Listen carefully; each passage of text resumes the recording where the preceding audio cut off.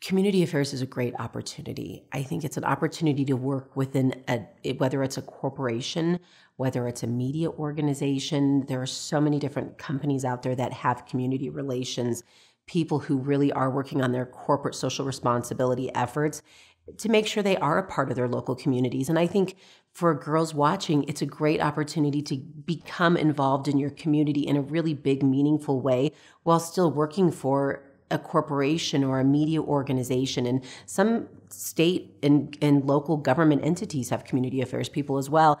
I think um, it's just an opportunity to be able to give back and to really learn about all of the different things that are happening in the community. And again, for somebody who's open to having a mixed up day and going to a lot of events and, and working with a lot of different groups of people, I think it, it it's a great job.